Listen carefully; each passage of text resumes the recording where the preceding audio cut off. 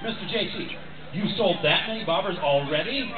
Now there may be a limited supply of bobbers. Get them right over there. It's only a buck a bobber. Hundred dollars worth of change of bucks.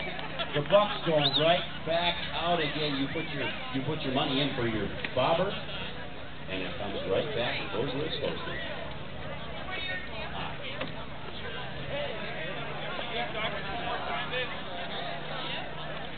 Time is about 2.06. Thank you.